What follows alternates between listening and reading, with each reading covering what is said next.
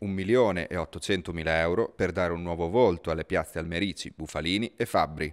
Questa è la somma di cui beneficerà il Comune di Cesena grazie al programma straordinario di interventi messo a disposizione dal Governo per la riqualificazione urbana. Nei giorni scorsi la Giunta ha approvato la manovra dal costo totale di 3 milioni e 300 mila euro che dovrebbe dare il via ai lavori nel 2019. Grazie alla somma riconosciutaci dal governo, copriremo i costi di oltre il 50%, commenta il sindaco Paolo Lucchi. Avevamo presentato la nostra candidatura già ad agosto 2016 e siamo molto soddisfatti di essere riusciti ad entrare in graduatoria. In attesa dei fondi, l'amministrazione ha già stilato una prima tabella di marcia che deve fare i conti anche con i lavori che già si stanno effettuando all'interno del centro storico.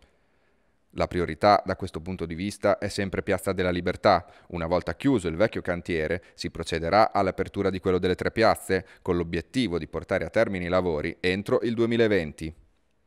Il progetto è frutto di un concorso di idee portato avanti dal Comune a partire dal 2011 e che nel corso degli anni è andato progressivamente ad aggiornarsi grazie anche all'intervento di normali cittadini che hanno partecipato a una consultazione online votando a favore del mantenimento dei grandi alberi posti davanti alla biblioteca.